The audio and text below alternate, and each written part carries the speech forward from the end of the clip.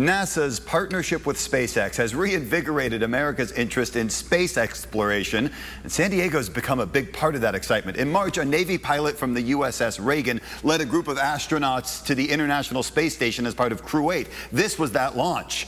Days later, that crew arrived to open arms aboard the ISS. This footage shows the moment that University of San Diego alum Matt Dominick went inside the space station. And right now, Commander Dominick is joining us from space. Matt, this is kind of cool for me. It's my first time interviewing anyone from space, but it's your first time in space, which I think is even cooler, right?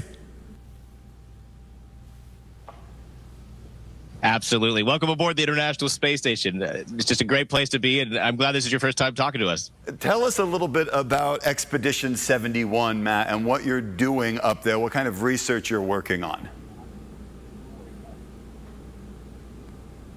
Oh man, we do so many different things across so many international partners. Right now, our space station, you know, we kind of go in flows just like a Navy ship. Uh, right now, we're in a maintenance period for a couple weeks as we fix things, we take out the trash, we, we put things away, we reorganize, and we get ready for another phase of science. So when I first got up here a few months ago, we were raging through science, uh, doing experiments from all different countries around the world, 3D printing, you know, uh, parts of the human body for, in space, like cardio, uh, heart parts. Uh, it was really incredible science, growing plants, uh, working with with people from around the world, just raging in science. And then we go into a maintenance period, and we're getting ready to do a big science push here in a couple weeks. So, Matt, you are from the San Diego uh, area. At least you went to school here, USD, and then your Navy career. How did all of that, your time in San Diego and in the Navy, prepare you for this career now as an astronaut? Uh, we, you know, up here on the space station, we have to do everything, right? We're maintainers, we're scientists, we're engineers, we're operators, uh, and we have to do all of those jobs. And so the background of a liberal arts education, where you get to have, you know, a wide breadth of knowledge and education, and then operational experience from the United States Navy uh, and flying airplanes comes forth. It all comes together because you got to be a master of all, all trades up here in the space station. So you've been up there for about three months. What's it like for somebody who's experiencing their first time in space? What is that experience like? Oh, I mean, obviously, I, I think you I, you just rolled the video coming through into the hatch to the space station. It's an incredible experience, and you just grow a little bit each day as you become more and more accustomed to your environment. At first, just like keeping track of things is is really hard. Like everything just tends to float off. Wait, and you, uh, you, you try just, trying to manage that, and you get better and better at it, and eventually you're comfortable with it.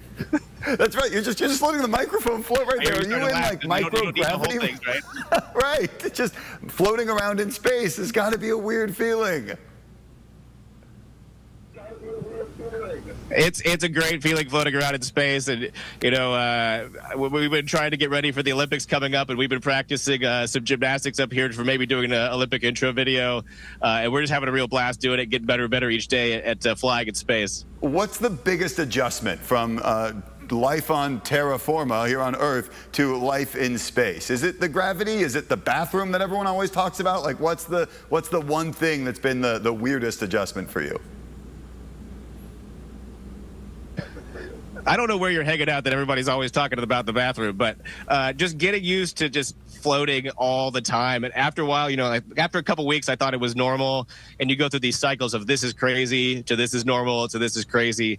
Uh, but floating around everywhere is is absolutely amazing. Uh, you know, you wake up in the morning and you're in your crew quarters and you brush your teeth and you can be you know working within three minutes by floating there. You know my commute to work is floating down a hallway. It's pretty awesome. We all wish we had a commute like that. Matt everybody here in san diego is proud of you. We are behind you 100 percent. Thank you so much for joining us.